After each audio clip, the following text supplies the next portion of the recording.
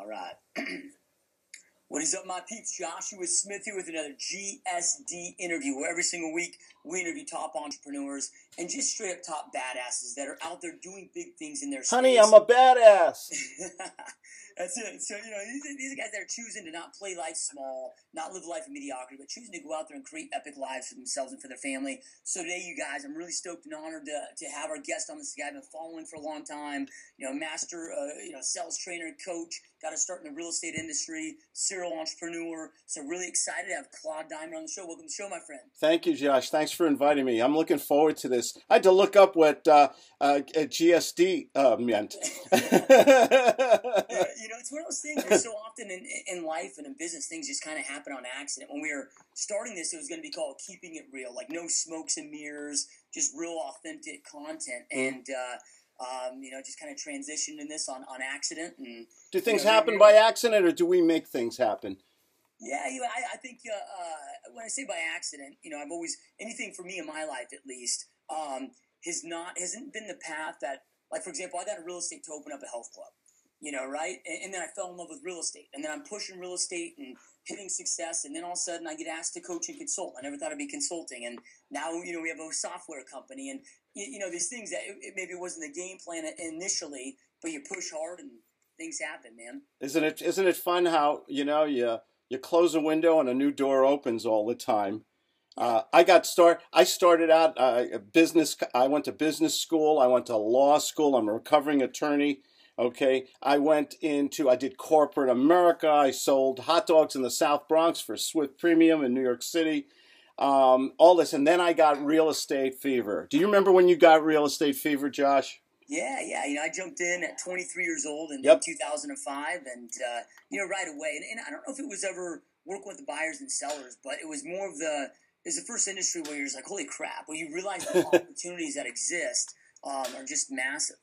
I got in. Yeah, I loved real estate. I had real estate fever. Real estate fever is basically when none, when whenever your friends or family see you, they run away or hide or or look like they're busy because oh they're going to go oh shit Claude's going to talk about real estate some more. Uh, you, you know, and can I use that? Can I use the? It's, it's, it's, it's done. You can okay. do whatever you want, man. So, I- so, so, well, let's let's kind of start there, man. Yeah. So, I mean, you went to law school. yeah, Um, I mean, when you got to law school, I mean, did you go the attorney route for a while? Did you jump into the corporate world before you transitioned to entrepreneurship? Like, what was that journey like? I went in the I went in the corporate world, uh, got into real estate, um, and had a, and and just started my first little deal. I was just talking about it in Las Vegas at a little club I was uh, at. Had a great time, and my first deal was a, a bank owned property. It was for twenty five thousand dollars. I lease purchased it. Was kind of I've written a couple books on lease purchasing, and I had one tenant uh, stayed in there for fourteen years. He literally paid off my mortgage, and then didn't exercise his option, which he renewed every year, and then he moved to the property downstairs. I got the property back, which I didn't have a problem with. Long story short, I, I then decided to go to California, you know, loaded up the truck and moved to Beverly. And um, I sold the property so we, my wife and I would have some cash. And I got $180,000 for that original $25,000 investment. Did I have the fever? Yeah. so I'm in law school, very hard working. I did, you know, I'm doing the intern stuff and all that stuff. And lawyers don't make a lot of money in a lot of cases, by the way.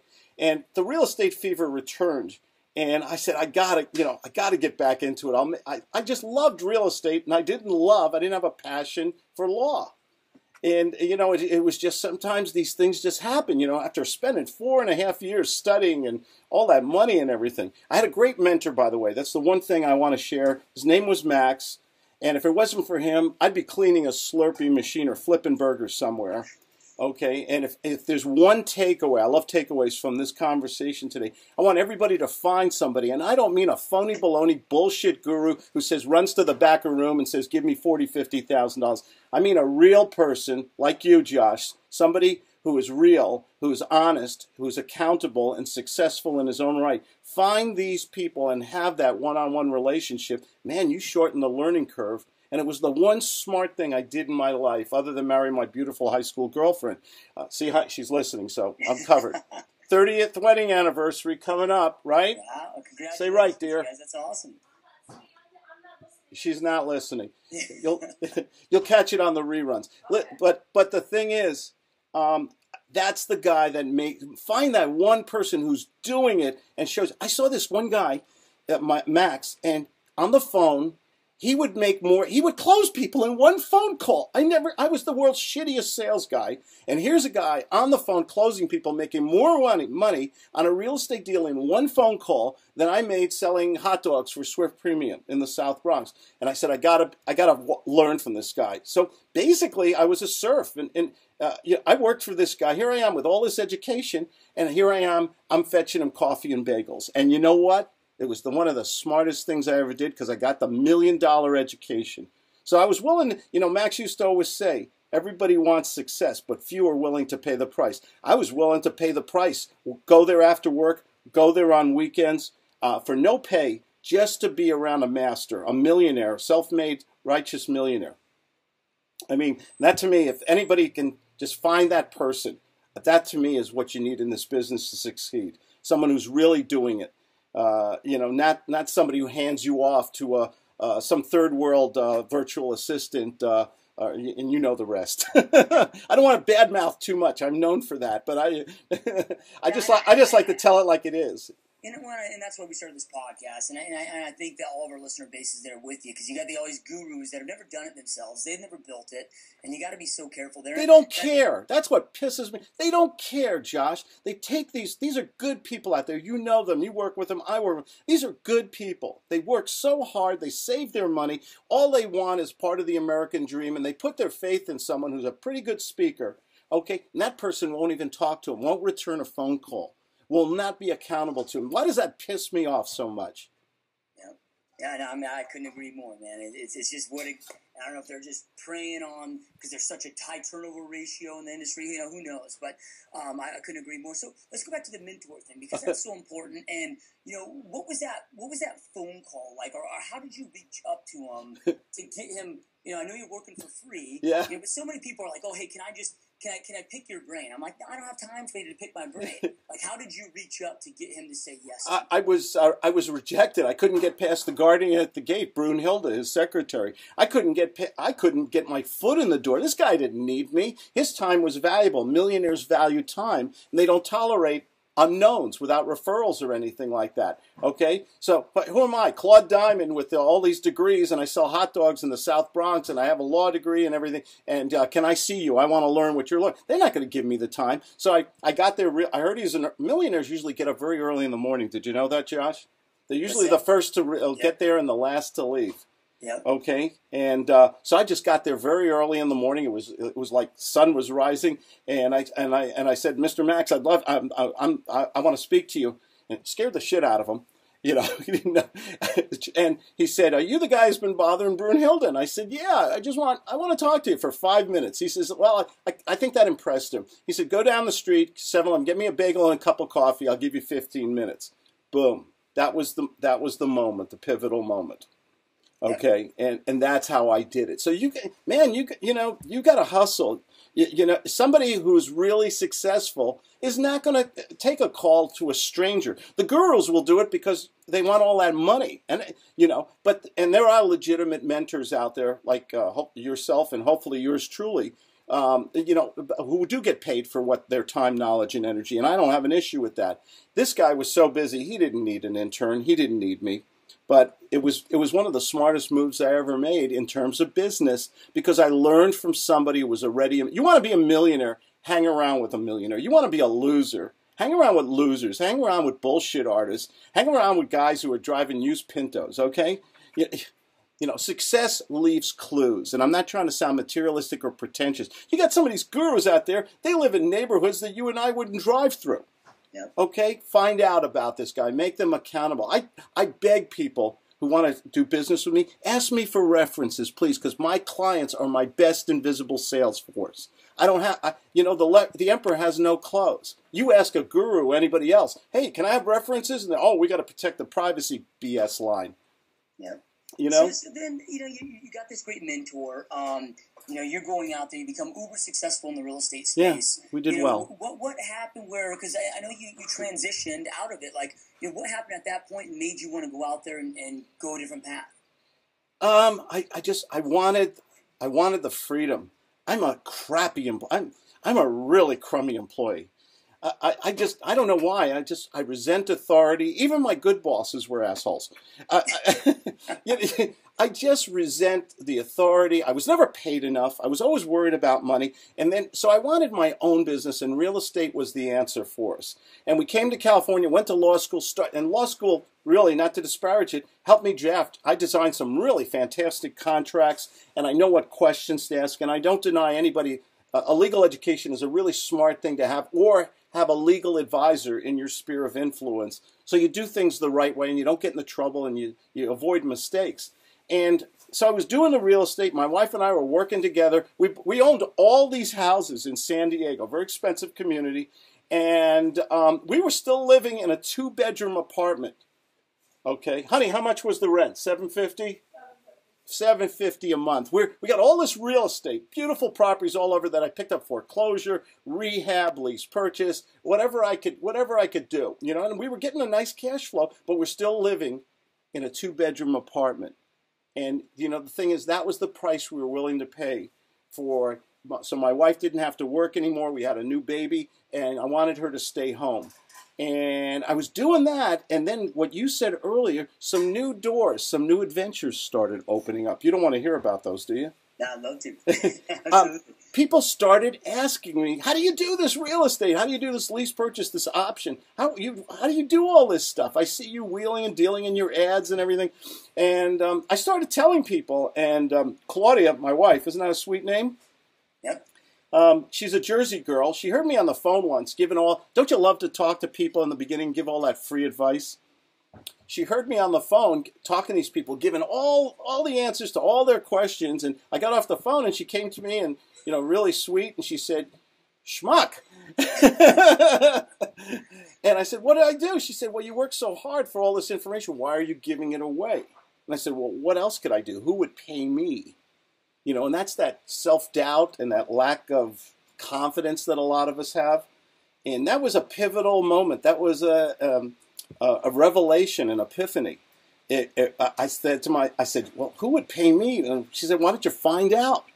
And the next person was in L.A. and they said, gee, I saw, I saw an article you wrote. I wrote a lot of articles in those days in magazines. And they said, we'd like to buy you lunch and pick your brain. I said, well, I'm, my wife says I should charge more than a lunch now. And I said, "Can can you pay me a thousand dollars?" And they said, "Gee, Mr. Diamond, we didn't want to pay you." and I said, "Well, what is it you really want?" And they said, um, "Well, we want to know. Uh, you want your contracts, and we have a lot of questions, and we, we have problems with tenants and evictions and damage." And I said, "If I can save you, if I can save you to a, a time and avoid all these issues in the future, would it wouldn't it be worth a thousand dollars to save twenty thousand dollars?" And she said, "That's a." She said, "You got a good point there. Okay." that was my first consulting or mentoring fee. And I started mentoring people, and boom, another bit. Uh, I mean, uh, crushing it with mentoring, and and uh, I started public speaking. And this is pre-internet days, okay? Okay, Stone Age. You were you weren't you were a baby or not even existing yet, maybe. But and uh, the thing about it is, this opened up my mentoring business in real estate. I love teaching people one on one. I didn't want to do the guru you know, take your money and give them, hand them off, or or just give them a book and tape and say, "Have a good life. Thanks for the twenty thousand uh. I wanted to do more, so I developed a business model. This is before internet. Now we did it all on the phone. Actually, I used to get on airplanes and fly to people all over the U.S. Man, made a lot of money, but boy, was I tired. And and then things started to change. I started to do it on the phone, and then another revelation started happening. Am I talking too much? No, you're doing awesome. I, um, I, I, I, found out, well, a lot of people, and this was my bad, a lot of people, and I was taking money from them, and a lot of people, well intentioned, uh, intelligent uh, people, families and stuff, were giving me money and still failing.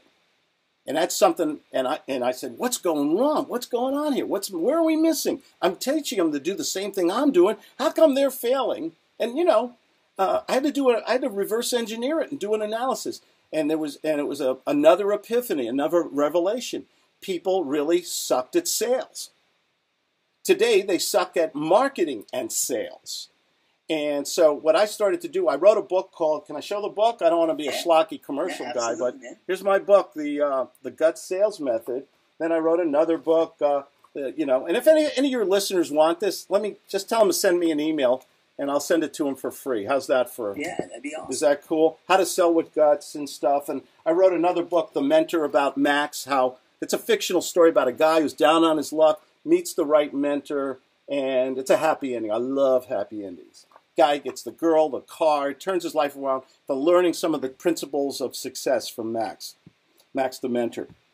And so I start. I wrote. I started teaching people about sales the way I learned it from from Max, and it's a pretty simple system about learning to ask questions, qualify, get phone, get commitment, and qualify people in the first three minutes. There you go. Are you married, by the way, Jeff? I am, yeah. Oh, okay. I was gonna. I was gonna send this if you were engaged or something. This is great on your honeymoon. Yeah. I'm sorry. I'm sorry. Yeah, so, you know, so you're, you're doing all this sales training and marketing, and you know, I, I- I saw a post last night on Facebook of you know some people going on, and it was a sales group, um, how cold calling is essentially dead, and you can't, you know, there's there's it's impossible to become a millionaire by working the phones in 2016.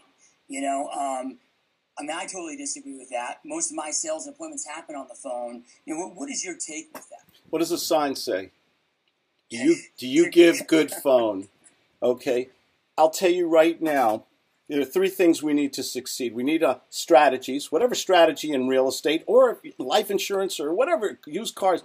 You got to have strategies. I don't care if it's rehab, a wholesale owner, finance, lease, purchase. My favorite. You've got to have the strategies. You've got to have marketing, which is my new big thing: social media and live streaming marketing. We're live right now on Meerkat and Periscope we have hundreds of people. I, uh, I, I don't know. I can't look at the screen, but this thing will be replaying all over the place, and people will discover Joshua Smith and his great show, and and me too. So we talk about marketing. Then sales is the third part. Out of the three strategies, marketing for leads or sales, what do you think is the most important, Josh? Can I call you Josh or Joshua? Yeah, I, I, either or is good. I mean, I, I, I, I don't know. I mean, I would think it's a three-legged stool. You remove one, it's kind of dumb. But if the marketing or if the strategy doesn't happen, then you don't have the marketing and sales to follow.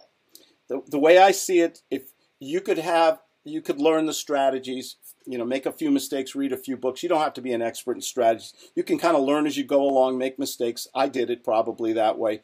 Okay. Second thing is marketing. You got a lot of people spending a lot of mark, a lot of money on marketing, on yellow letters and virtual assistants and all kinds of expensive systems and stuff. And if you can't convert those leads, even if you get some, okay, can you convert them? Can you monetize them? Or do you get on the phone and go, uh, uh, uh, or you read a script or something like that? It's sales. You can live without the strategies or be min- um, minimal on them. You can have the, you don't need the, you need leads, but can you monetize those leads? Sales, and I'm, this is a takeaway. Sales is the million dollar skill, and you are doomed to fail if you do not understand the science and art of persuasion and influence, of understanding how to speak from one adult to another and not acting like a goofy sales guy who's saying me, me, me, give me, give me, trust me, trust me, like your other gurus out there. You've got to, if you can learn how to speak to people and make them comfortable and they feel that they trust you or like you and share information, you have that, uh, you're in the kill zone. You're in an adult to adult moment. Okay?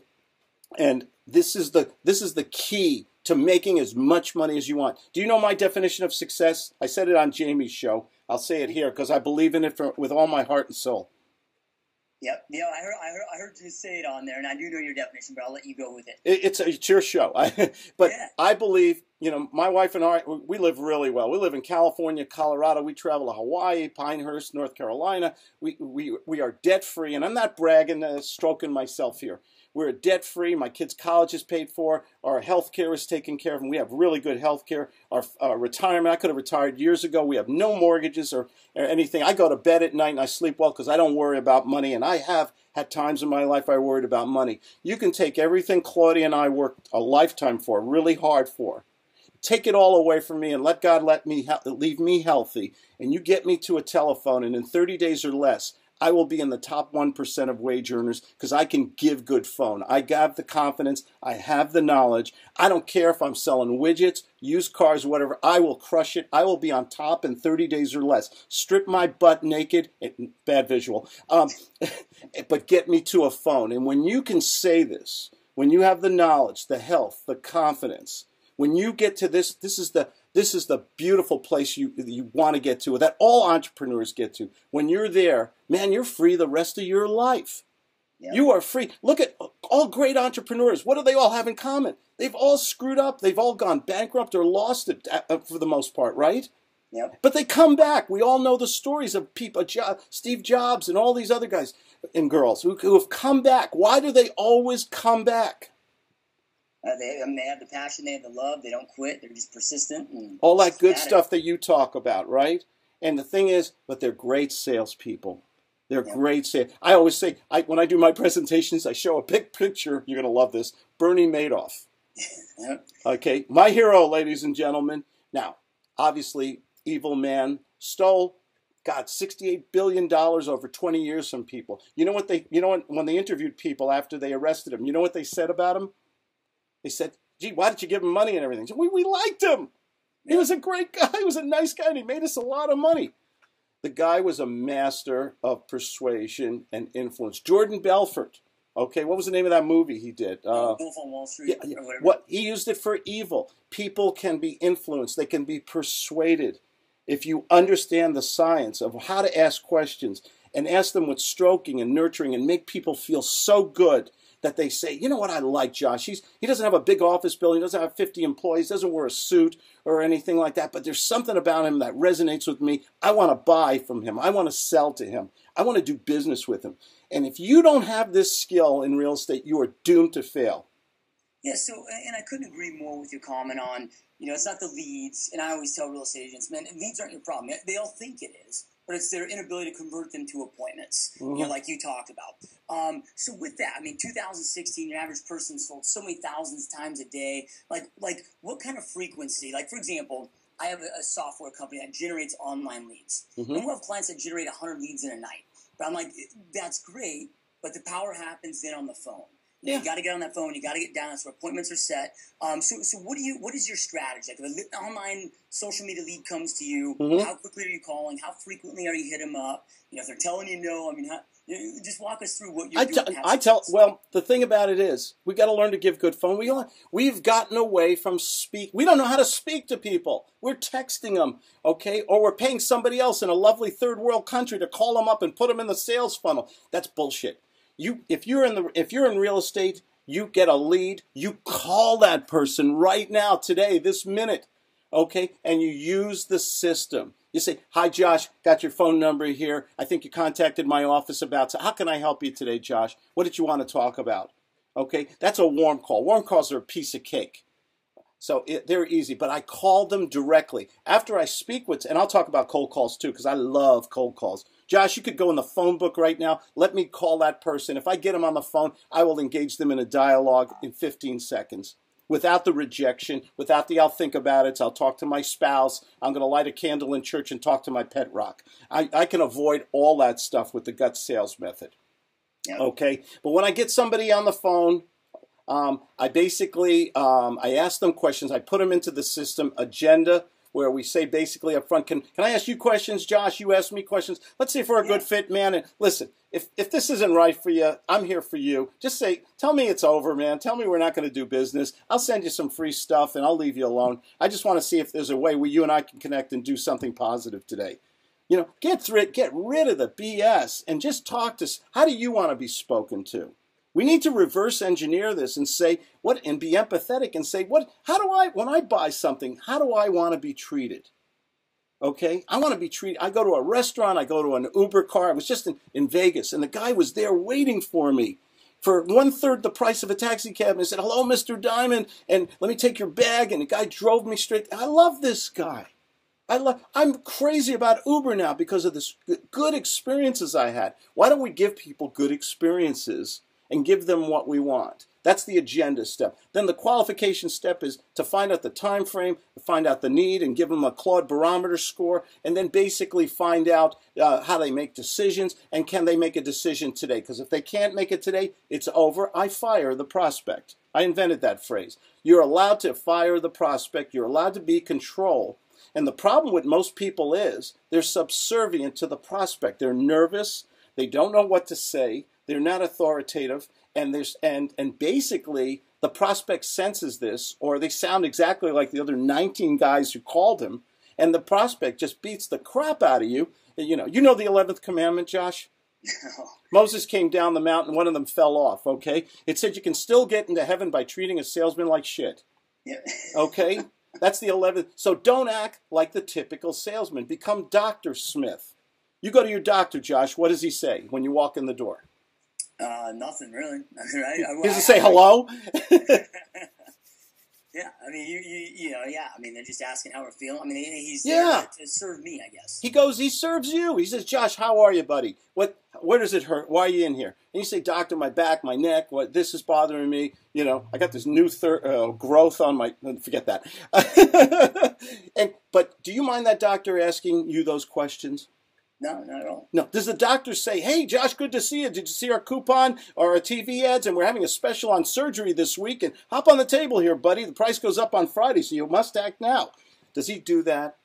Nah, you, you, you're right, man. He's asking engaging questions to help solve my problems, at the, whatever problem I'm there for. Why don't we all sound like Dr. Josh? And just be upfront and ask questions with stroking and nurturing and empathy, the powers of persuasion and ask the right questions and get a commitment or get out. And that doesn't mean we can't do business in the future. I save all the information with people. I follow up with everybody. I send them a video email. I use a system called EyeJot, E Y E J O T. I send them a video email. I usually attach a free book or something they can use. I even give them a link for a free, uh, uh, like you use a TimeTrade or a scheduling system okay, so that they can call me for a free consultation. I send those out all the time. People come back to me. I make offers every day, letters of intent, one page offers to people. If you're not speaking to at least five people per day, you're not taking this is a hobby and it is not a business for you. You have got to learn a sales system where you're comfortable, you're having fun, which is a word. I have fun in sales, man. I love talking to people. You know, so, You know? Yeah, I, I, yeah, I love it, man. I mean, can, anybody watching this can see your, your passion, your energy for it. Um, what happens? Because I get asked this question a lot of um, those that maybe don't have that natural energy and passion. And I don't know if yours is natural or if it was just learned over the years. But you know, a lot of people have. Why aren't they picking up the phone? Call reluctance, fear of rejection. I get asked that all the time. Like, how do I overcome that? Um, you know, what, what, if I'm your client, what, what would you advise me there on? We, well, what I do with my clients, and I'm the former world's worst sales guy.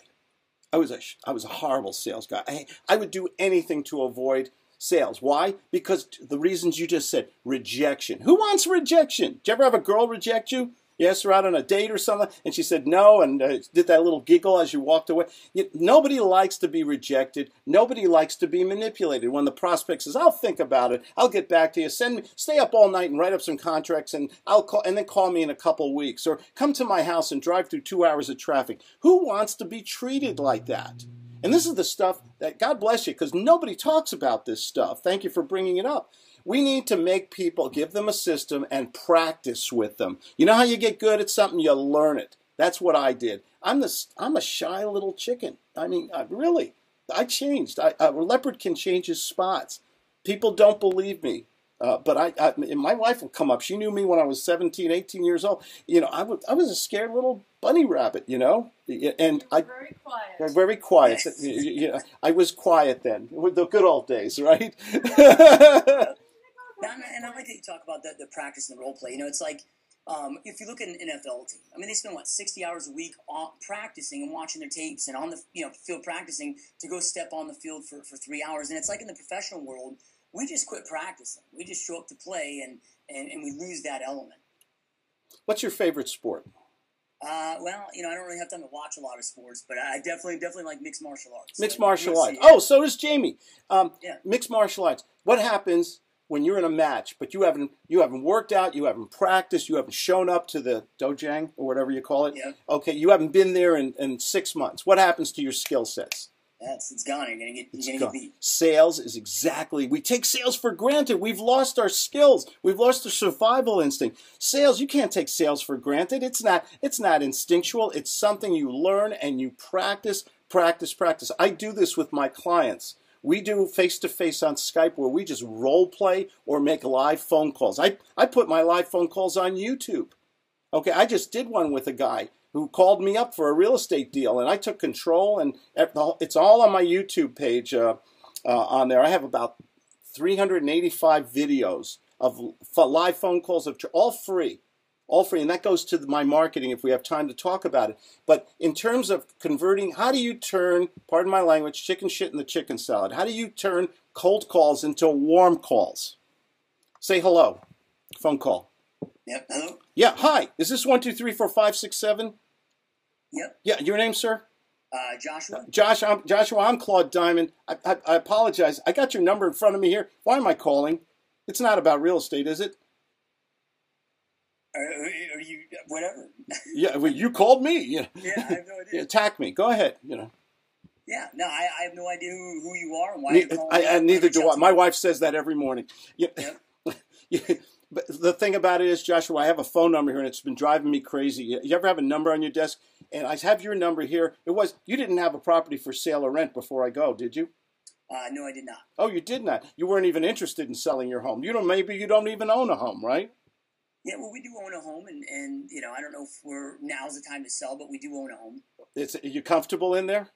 You happy? Yeah. I Stay mean, in the home. I'm so sorry to bother you and everything like that. Listen, I apologize. I, somehow I got your number in front of me here. Maybe you advertised or, or tried to sell it one time. What's your email? Let me send you a free book. Or, I want to return the favor because I bothered you. Yeah, Joshua at gsdmode.com. Got it. You're going to get a free book from me and a video email with my apologies. And if you ever do want to sell your home or talk, have some questions about investing in real estate or doing something, give me, uh, give me, uh, give me the uh, privilege of speaking to you again. Okay. Uh, hey, wrong number, but I made a friend. Thank you, Joshua. Yeah. Boom. This is this is just the gut system. I did a lot of moves and I talk very fast for the time constraints here. I can you you can take a phone number out of the yellow pages and give it to me. I'll engage somebody. I'll say, Why am I calling you? Is this your number? Uh, boom. I will reverse the whole thing. Whereas most people who call up a cold call uh, in real estate, they, they sound like they're reading a script. They sound exactly like the other 19 people who called. You can't do something, you can't expect different results by doing the same thing everybody else is doing. You've got to be creative and inventive. Even leaving voicemails, Joshua. You've got to leave a voice. When you leave a voicemail, you've got to make it so the curiosity appears. Okay, yep. and, and so they say, "Who is, honey? Who is this Claude Diamond guy? Do you know what this is about?" And they call me back. If they call me back, I win. Yep. Sales is all about understanding the emotion, of the EQ, and if I can, if they can, listen, I cry at dog movies, Joshua. Okay, if you can make me emotional, we Claudia, I tell this story all the time. It happened last year. Claudia and I are driving out of Costco here in San Diego. She's driving. I see a guy with three kids on the sidewalk, and the sign says, "Lost my job. My kids are hungry." Man, I said, "Honey, pull over. Give him money. Give him money. Feed those kids. I don't care." Was that emotional or an intelligent, uh, an intelligence or intellectual reaction? Yeah, it's all emotional. Can you imagine if you could, could do that in your business, where you make people say, "Yeah, what do I sign? What do I have to do? Uh, help me buy a home. Help me sell a home." How do you make it emotional through the questions, through the conversation and dialogue you have, so people throw contracts at you, throw money at you all day long? You practice this, you master this, and the magic always happens. Every day I make money in my business, and all I do is talk to at least five people a day. That's a takeaway. Everybody on this who's watching this, speak to five people a day and ask them questions. And don't be a goofy used car salesman. Be the doctor. Be the professional. And watch what watch that magic happen. You will double and triple your business literally overnight. So um, let, us say real estate, for example, you know, because they're not, it's not like an iPhone where they're buying every year when the new model comes out. You know, like in, in, in Phoenix, Arizona, where I'm at, there's a million rooftops and about 5,000 home sales a month. So you had that conversation, you got their, their, you got their email for that nurture. What does that look like? I mean, what's too much? What's what's too little? What does that nurture look like? So when they are ready, hopefully they're raising their hand at you. You have to be a thespian. You have to make them comfortable. You have to create an environment where they, when they get off the phone, the question I ask myself is, what did Josh say about Claude? Did he did he like this interview? Did the guy has too much energy? Did he talk too fast, too much? It's real important to me to give to give the create the best environment so that when you get off this phone or off this call, you say, you know what, that Claude crushed it today. That was one of the best freaking interviews we ever did. I love the information. The guy wasn't schlocky. He gave to me. A perception is reality. I've got to create something where that person, when they get off the phone, say, "Hey, you know, he's sending me a contract. I'm going to look it over. I'm going to call him back at 10:30 tomorrow because I always preset my appointments, or, or I close I really go for the close or a commitment in the first phone call. Whether I'm doing sales training or consulting or a real estate deal, or I consult now with people on marketing too, by the way. Do you know we're in the stone age with marketing and real estate? We got these guys, these guys are still teaching this Fred Flintstone BS, uh, yellow letters and stuff. Nothing wrong with that. People always think I hate yellow letters and mailers and virtual assistants and, and things. But why is, let me ask you, Josh, you're in the business. Why are we in the freaking Stone Age and nobody, nobody, except maybe guys like you and me, are talking about social media and live streaming? What what gives, man? Yeah, I, you know, I, I think that people have that tough time with change, and we're an industry that is acceptance of being a dinosaur industry. You know, it's just just what exists, man. I, I don't, you know, I get asked like this question almost daily in the podcast because I used to do a lot of direct mail, fifty thousand direct mail pieces a month. Expensive, right? You know, yeah. And I get people like, "Hey, Josh, what what what would you put on a direct mail message today?" I'm like, "Well, let me ask you this. Like, what's the last direct mail piece you got in your mailbox?" I'm like, well, I don't know. I'm like, why is our consumer any different? You know, the message doesn't change, but where a consumer's eyeballs are, you know, is always changing. My wife sent a Valentine's Day card to her son. Okay, he's um 25 years old. He's a manager for Safeway Corporate. Great kid, and um, and uh, the, he, she she called him up on Valentine's Day or the next day and said, "How did you like the card?" And there was a little gift card in there. We always said, "He said I haven't gone to the post office yet, Mom. I'll probably go in a couple days." Millennials don't go to the post office. Big revelation. and guess who is the new big market in real estate today? Yeah, millennials. Well, I mean, they're, yeah. They're, 2.4 billion millennials. Yeah, they're going to be buying real estate eventually. They're sick of living in mom and dad's um, uh, uh, uh, attic eating Twinkies. They're sick of living in a one bedroom apartment making their landlord rich. They want to be. The American dream has always been, I disagree with Grant Cardone on this, he says you not should not get your own first home. You should invest in, in, in, in, a business and stuff. I say no. You do both. You get yourself into a home because five years from now, when you pay down that mortgage or do double payments or whatever you do, or you get the tax benefits, and that's your own place, and there's something cool about your own place. Okay, that place. You t- I told you the story about my twenty-five thousand dollar condo that went to one hundred and eighty thousand dollars. Okay, in fourteen years where would you make? Where would a schmo like me make that kind of money in 14 years? Yeah. Okay. Yeah. That was. I mean, you got to get in your own home and get into there. And but we've got to get. We've got to start teaching people about using this social media. I get the best quality leads at, for TNT, time and talent, zero cost. I just went to Vegas. I had two great guys, um, Ray and Daniel. They invited me to Vegas. You know how we hooked up? Periscope. Yep. Okay. I just got a new corporate account, a big five-figure corporate account. They got they found me in, for sales training and marketing. They found me on Periscope. They went from Periscope to Facebook. They went from Facebook to YouTube. Then they finally, number four or five, went to my webpage. And the trust was there from all the content that I put out there that they finally gave me their email and scheduled with me a half hour. Do you think anybody is going to go directly to your webpage and give their contact information anymore without you earning that trust? No, they're going to do their due diligence. I don't care who it is. Claudia's mother, 89 years old, is on um, Facebook every day and Googling and, and stuff. Everybody is on these little. We've become the walking dead. We're walking looking at these little devices. We're going to get virtual reality soon where we're not going to hold the phone. I did a video, t- I did a group call today. There's a new device coming out where the where you're going to wear a bracelet and your phone is going to be it's going to be projected on your arm. You're going to be making calls, watching movies on your arm is going to be the screen. I mean, this Everything is around this new technology, and we're still talking about. And there's there's idiots out there. They're spending uh, what 160 billion dollars a year on magazine ads and newspaper and radio and TV. People, what do you do when you see a commercial on TV? Regular I TV. I don't watch it. You don't even watch TV, right? Yeah. people, young people don't watch TV. They don't even have cable service. They just want Wi-Fi so they can watch Netflix or Hulu or or um, Amazon Prime. Yep.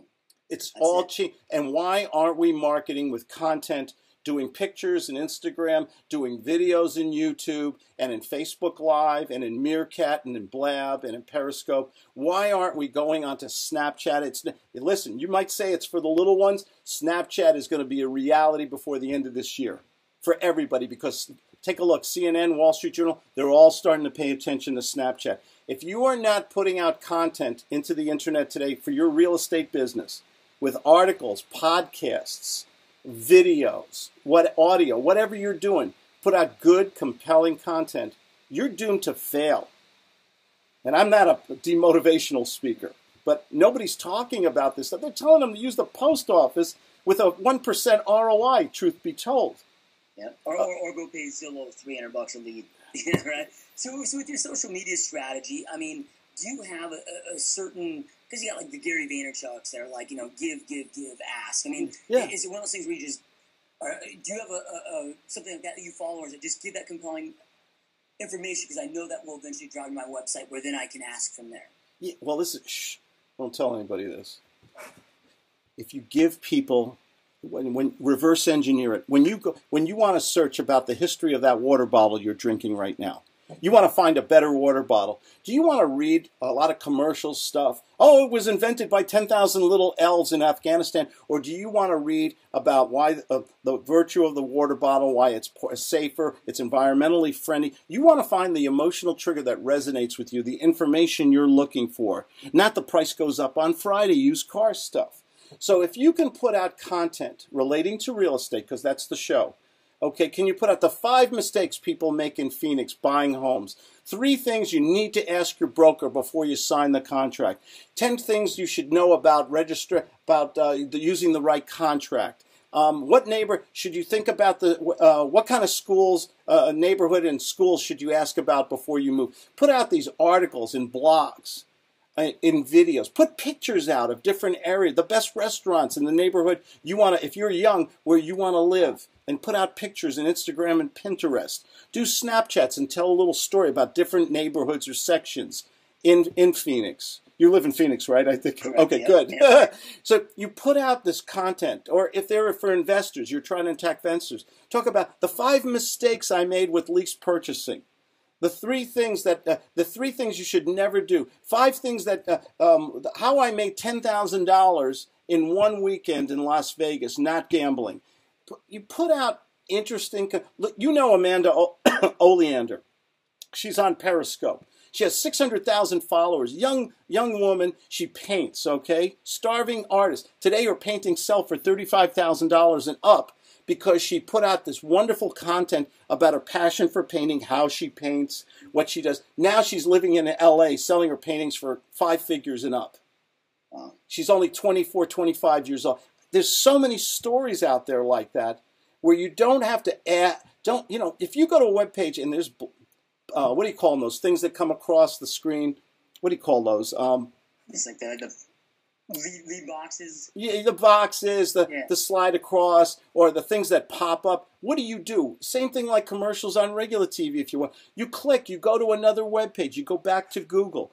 We've got to, how do we earn their loyalty, their trust? How do we make them a fanatical fan by the wonderful, compelling, entertaining, contemporary content that we give these people? Okay? And they will follow us. They say, "Gee, what is Josh going to say next?" You know, I love your videos. I, you know, honestly, I just start, discovered you because you asked me to speak, so I did my homework on you, and I started watching your videos. And then I watched another one, and then another one, and then I registered and everything. And that's the way it works today. True or false? Yeah, true. And what? So you can do mailers to people, but that's what your competition is doing.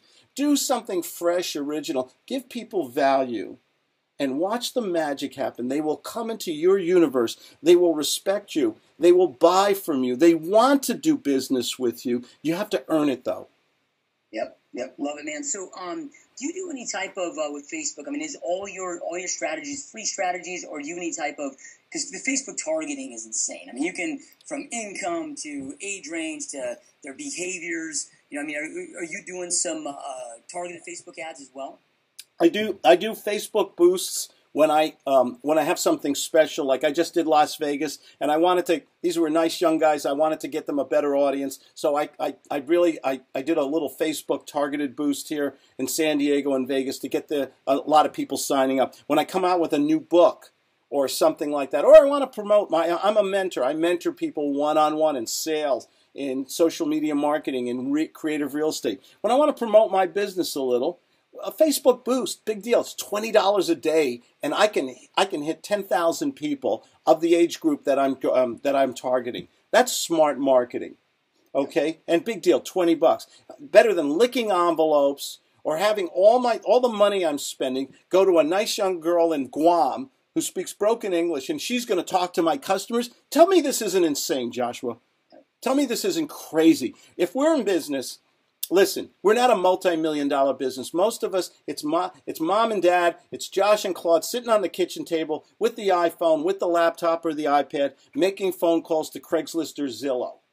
Okay, and you're going to delegate, and people delegate it and obfuscate everything because they're scared to give good phone.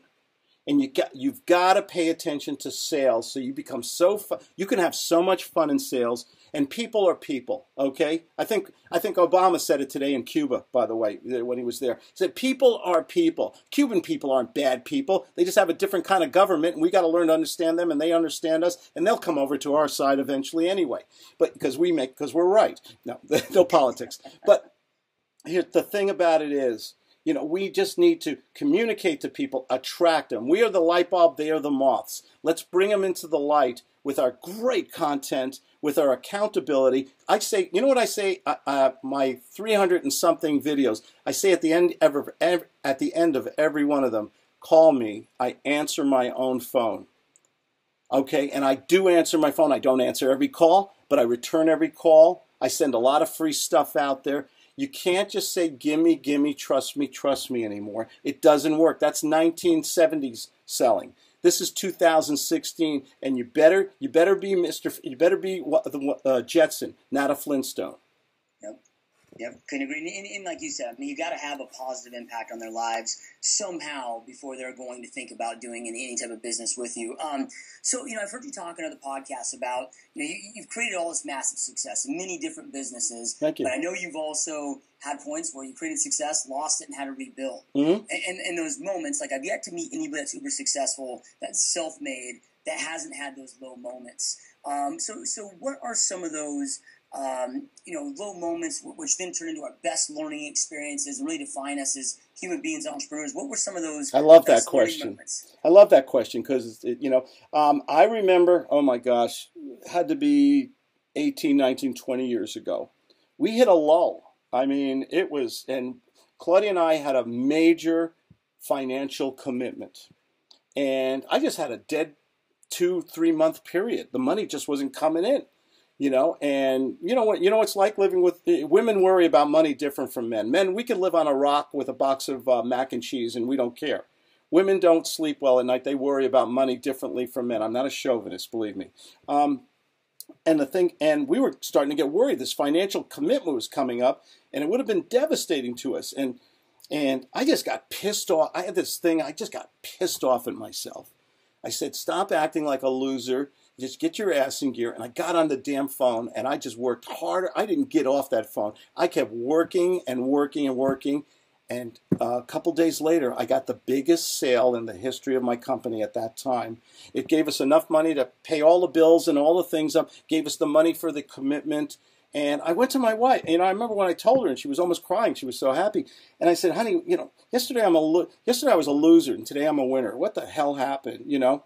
And I, I, think a lot about this. I got focus. I focused on the focus. I got rid of the distractions, the deviations, and I just did what I do best. It's talking to people and trying to solve their problems. Yep. Love it, love it. So, you know, I find that good becomes the worst enemy to greatness. It's so easy to get caught up in this, oh, it's good enough and get comfortable and coast. I mean, you know, you're, you're, you said it before, you're a guy that easily could just be done and go out there and live a, a great rest of your life. What, yeah. what keeps you from not settling? What keeps you leveling up and, and, and never coasting and you know always striving for that greatness? you know what? I could have retired a long time ago. Um, the thing is, um, and this is, I'm not a workaholic or anything, But man, I, I I have I love what I do. I get up every morning. I love what I do. I can get up, I exercise, I run, I go swimming, I get on my desk, I talk to the best people. I have clients in I think 16 different countries now. I have appointments. I talk to the greatest people in the world. They are just delightful to me. They help put food on my table. I'm so grateful to these people and they are so nice to me. Okay? You it can't take. We need to respect our prospects more. That would be another show. I don't think people today, especially a lot of gurus, do not respect their prospects. And I think we've got that's part of the marketing and part of gut sales is saying, I want to help this person and I'm entitled to be compensated. Okay. I do believe the salesman comes first and we need to be compensated, but I need to give them value um, on this. So go, you know, the thing about it is I have, I, I have fun. I'm the only sales trainer that I am aware of that says the word fun in sales. Most people, sales is like public speaking, man. It, it is it is horrible. I told my wife I'll never retire until my last day on earth. I love what I do. Uh, you know, uh, it's just so much fun, and it's the challenge. So making a sale, Josh, getting a commission by the sweat of your own brow. Tell me that isn't the second best feeling in the world. You're young. I might have yeah. to explain the first one to you. Yeah, right. yeah, no, I mean you're, you're right, man. I mean it's it's a massive rush. It, it is such a rush. I love the rush. I love the sale. I love when people say yes okay? And it's just so much fun to give them the value. And I have so many success stories out there. I'm the only guy in the world who says, yeah, ask me for my references, but give me a commitment uh, on your side also. I'll give you the references, and if they meet with your personal satisfaction, what happens when we speak at 4:30 tomorrow? Okay, I, uh, you name me anybody who says, call me, I answer my own phone, and I'll be glad to give you references because my clients are my, are my friends, a lot of them, and they vouch for my veracity. You know, tell me that isn't the. Uh, you know, I am I am the luckiest guy in the world. I am doing exactly, exactly what I should be doing, and I make a phenomenal living at it. Okay, I and you know the thing is when you've been broke in your life, man, it's so good to have money in the bank. you know, okay, it is. I don't need a Lamborghini or any of that stuff, but I just like that we have a cushion. My kids are taken care of. My wife is taken care of. I if I'm hit by a meteor yesterday, it's okay. Everybody's taken care of because I gave good phone. Yep. Love it, man. Yeah, following your passion's huge, you know. And then if you don't love it, you know, don't get into it, and and because uh, it is difficult, you know. But when you're passionate, man, it keeps you keeps you going there. So, oh, you're you're an author, you know, right? You're you're you're obviously somebody that you know I can tell that uh, takes their own personal self development uh, um, to the next level, right? So, what have been outside of your own books? What have been some of the books that you might recommend that have had a massive, powerful impact on, on your life for entrepreneurs? Um, the um, the Psychology of Persuasion by Cialdini, um, who's the professor of psychology from University of Phoenix, I believe, right, or somewhere around there. Do you know you know who I'm talking about, right? Huh. It, it's C I A L D I N I.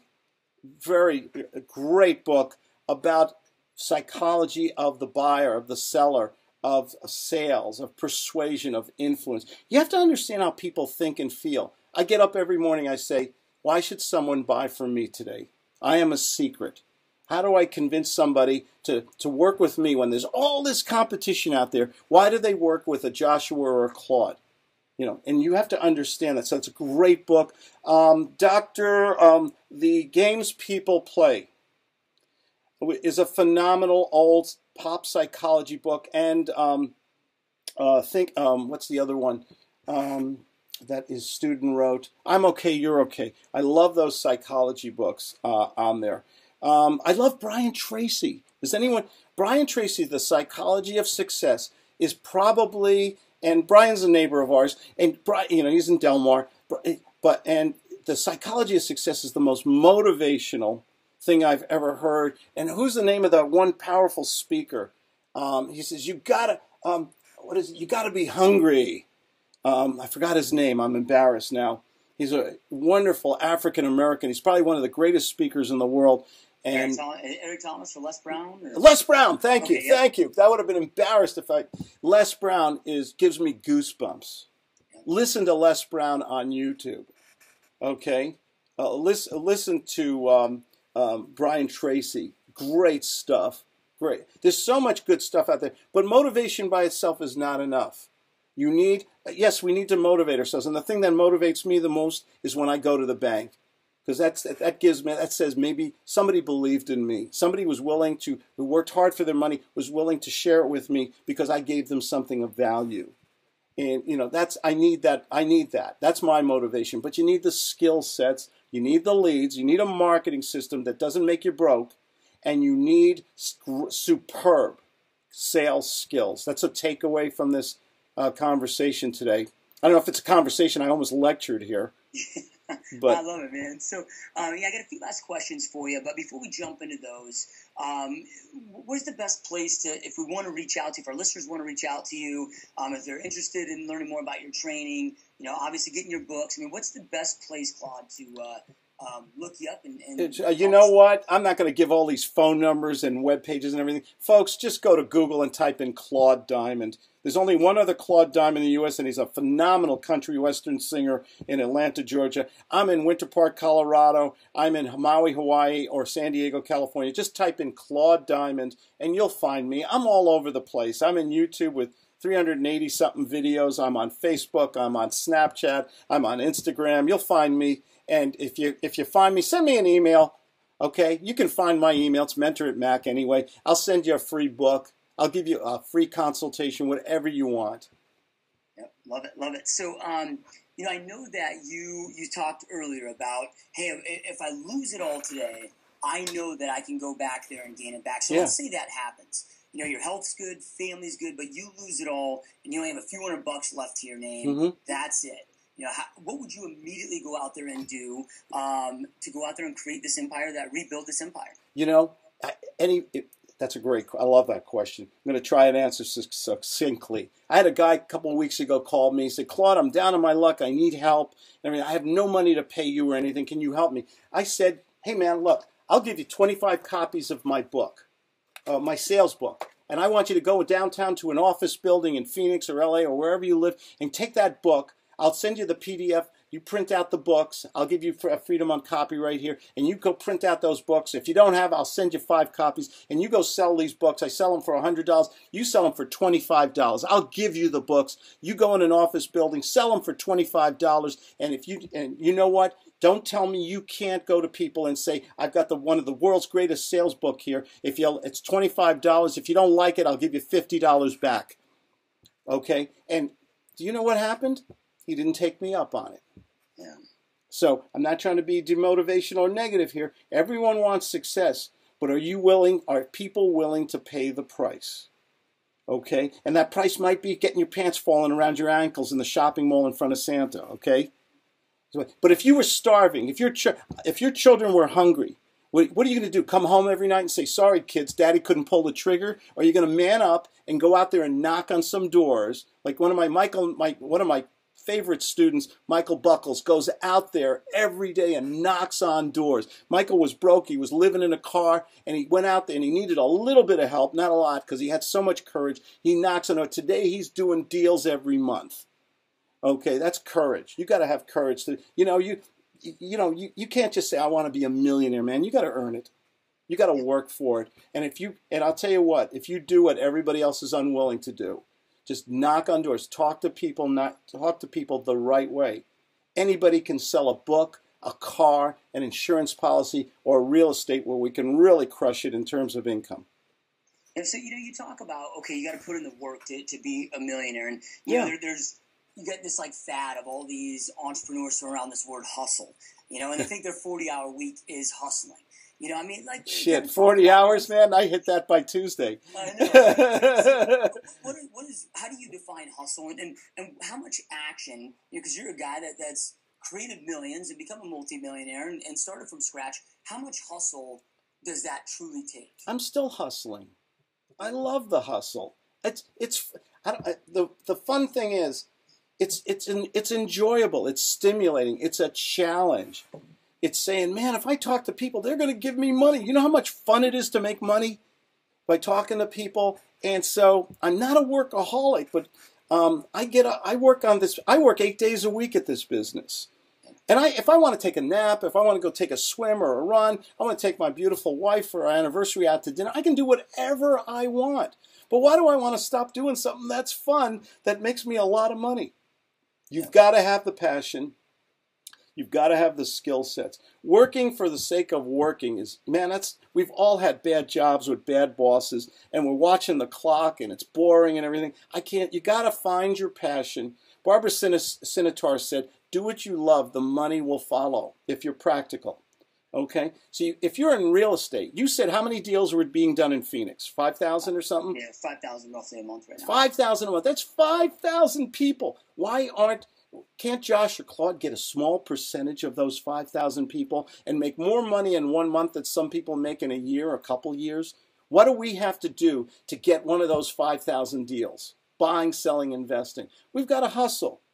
Okay? If you don't love this business, if you don't have passion, if you're just saying, I want to do it for the money, the likelihood is you're not gonna you're not gonna put in you're not gonna have the gravitas. You're not gonna put in the effort that you need. It's got to be a you know you could tell me Claude I'll give you a million dollars a year if you're a toll collector or a septic tank cleaner. I'm not going to stay there very long. Yep. You know, maybe I'll do it just for a little seed money or get going or something, but it's not something I'm going to do the rest of my life. Work is a joy of life if it's the right work and you're properly compensated. Yep, love it, man. So, um, what is I, I, know you you do a ton of these podcasts and you speak and you're in, you know interviewed all over the place. What is like the one question um, that you don't get asked that you wish people would ask that you feel is important? Is that your real hair? People always ask me you know is that your real hair? And it is really. Uh, uh they, they, uh, they ask that uh, I, I need that to be asked. Uh, question that's a good one. Um, you know, how do you stay so? How Claude? How come? Uh, how come you're 63 years old and how come you look so young and have so much energy? Go ahead. No one ever asked me that one. Yeah. So, Claude, all right, man. I mean, you're, you're 63 years old. You're out there grinding. You're still, you know, working eight days a week. You have all this energy. How do you do it, man? How do you keep it up? I just, you know, do what you love. Do what you love. Find your passion. You know, uh, live live life reasonably okay? And the magic will always happen. You will you can eat better foods. You live with less stress. You can uh, devote time to your uh, relationship to your family. You can do a lot of philanthropy, philanthropy work. You can i love exercise. I love going out and running and swimming every day. And you know what? Um, you can even if you don't have the dna you can you can be young at heart to your last day. You want to you, um, you want to be you want to feel as good as you did your first day and your last day and that and that comes from doing things you love and removing some of the stresses in life and money is stressful yeah. and, and, so i'm doing exactly what i should be doing and loving every minute of it and that's why as joe namath said i can't wait for tomorrow because i get better looking every day yeah, I love it. So, um, last question for you. Um, you know, you, you, you talked about, hey, if you want to be a millionaire, hang out with millionaires. If you want to be a loser, hang out with losers. And yeah. you know, set in business, we hear this this kind of turmoil time of you are the result of five people that you spend the most time with. There's so many listeners that reach out of, hey Josh, I'm there. Like, you know, I'm ready to to level up and take it to the next level, surround myself with, with people at the next level. But if I want to go start hanging out millionaires, these dudes are busy, you know, right? Like, how, how do you go make sure that you're reaching up for those friends and, and, and surround yourself with those right people? Hang out. Where do millionaires hang out? They're people just like us. But if you want to be a millionaire, hang around with millionaires. Find out where they are. Make them an offer that's reasonable. Okay? Give them something. Give them a benefit. Solve a problem for them. Okay? And find out where they are. And, and you, you need to be in that environment of success and see how these how do these people do it? What is their secret sauce? Okay? What do they do? Me, I, I show people. I make I get on the phone and anybody can see what I do. Just watch some videos and watch me in a live phone call with Joe McCall or somebody like that. Watch what I do, emulate, copy, and learn. Um, you've got to be in an environment. If you're taking advice from, you know, everybody has an opinion. Everybody loves to give advice, and we unfortunately take it from people who haven't heard the right to give it. Make sure you hang around with people who have earned that right. Okay, if a guy's if a guy's in front of a room speaking uh, at a real estate club, and then he goes in the parking lot and he's driving his 19 uh, his uh, 1987 uh, Kia or something like that, that might leave you a little clue. If he lives in a crummy neighborhood, is he really, And I'm not trying to sound materialistic, but success and failure leave clues. Find the success, emulate the success, hang around with success, find real pe- people who are real. Okay, and they're out there. We have all this. You know what's so great about today? We have all this information in our fingertips. today. It's all here. Just find the righteous people. Find the people who are real, who are transparent, who are authentic, who give us, who are, you know, you know the BS artists. Okay, I'm not going to pay five thousand dollars to walk on hot coals and think I'm going to be a millionaire on Monday. Okay, find those people who are doing it honestly, doing it successfully, who are going to be accountable to you. I'll tell you what, the successful people I've met in my life are wonderful. They're happy and they're giving. Okay, I sit on the board of several charities and things like that. I meet these people and I cannot, they write checks because they just want to give back. They are that good. That's the people you want to be on. Volunteer. Be on different board. Uh, go to different organizations and watch who the people are on the board of directors. Hang around with them. Earn their trust, and then maybe maybe you can ask for a favor. Yeah, I love it. So, you know, I started this podcast. It's, it's going on almost a year. Um, and, and, the reason I want to start, because I think you and I both share that kind of same, same passion of the gurus, the quote unquote gurus that are out there selling snake oil, right? So I'm like, man, it, especially, no, I shouldn't say just in the real estate space, it's in every space. Yeah. But in the real estate space, we see a lot of top coaches that have never actually sold real estate. Yeah. Themselves, yeah. You know, right? So, so like, instead of whining about it, let me go do something about it and go out there and create an environment like this where I go out there and interview the doers, guys like yourself that are, it's not talk. It's like you've been in the trenches. You went out there and built these epic businesses, um, so then that other people can take this information, go out there and create the same in their world. So, any last pieces of, of uh, um, advice or, or inspiration, motivation that you'd like to leave our listeners with, so then that they can go out there and create that amazing life that they know they truly want and deserve, just like you've been able to create.